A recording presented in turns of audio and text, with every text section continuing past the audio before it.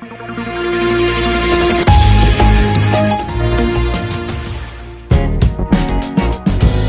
Senior basic शिक्षा संघ बैरिया के अध्यक्ष बने धीरज सिंह। डॉक्टर लोहिया उच्चतर माध्यमिक विद्यालय बैरिया बलिया के प्रांगण में मंगलवार को सीनियर बेसिक शिक्षा संघ बलिया के अध्यक्ष पद व पदाधिकारियों की उपस्थिति में डॉक्टर लोहिया उच्चतर माध्यमिक विद्यालय बैरिया के प्रभारी लिपिक धीरज सिंह को सर्वसम्मति से संघ ने बैरिया ब्लॉक अध्यक्ष चुना। इस कार्यक्रम की अध्यक्षता विद्यालय के प्रधानाचार्य अरुण चौबे ने की, जबकि चुनाव पर्यवेक्षक सुनील कुमार पांडे उर्फ़ कान्हा जी रहे। मौके पर सीनियर बेसिक शिक्षा संघ बलिया के अध्यक्ष अशोक केसरी के साथ ही संघ के सभी पदाधिकारी उपस्थित रहे बैरिया ब्लॉक के अध्यक्ष चुने जाने के पश्चात धीरज सिंह ने कहा कि संघ ने मुझे बड़ी ज़िम्मेदारी सौंपी है। इसका मैं ईमानदारी पूर्वक निर्वहन करूँगा और शिक्षकों की समस्या का निदान हमारी पहली प्राथमिकता होगी। शिक्षक संघ के चुनाव से पदाधिकारियों में हर्ष का माहौल है और सबने सर्वसम्मति से अध्यक्ष चुनने के बाद यह उम्मीद जताई है कि वह संघ के नियमों के अनुसार ईमानदारी पूर्वक काम करेंगे। जनमंच खबर के लिए बलिया से मनोज तिवारी की रिपोर्ट।